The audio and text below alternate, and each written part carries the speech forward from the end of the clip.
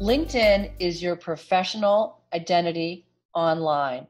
It's the best place to showcase you.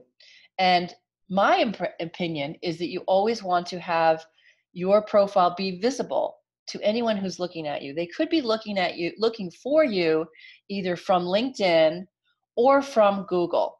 So let's talk about how you can make your LinkedIn profile public and searchable. So you saw that I clicked there, and now I'm going to come down and see Edit Visibility. This is an important section. And you want to know that you are being found on search engines, etc.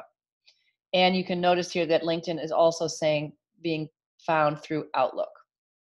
So the first thing is this toggle button is something you definitely want to keep on. You want to have your profile as publicly visible.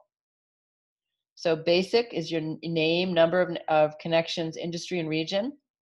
Now, what I'm going to do here, profile photo, connection, these are your connect connections, your network, LinkedIn members are public. And I'm going to click on public, right, to make that change because I want my photo to be a part of my profile that people find uh, from Google. And then all of these other sections you can toggle, right? So you can either hide these things or show them. These are all your all within your power.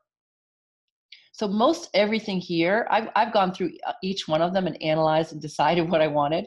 But for most of them, I'm showing you know everything. The only thing I'm kind of hiding are some of the details just to make my profile a little bit shorter. Now, as I'm making these changes, you can see here, this is my profile, my public profile. Okay, so someone could see this even if they're not logged in to LinkedIn.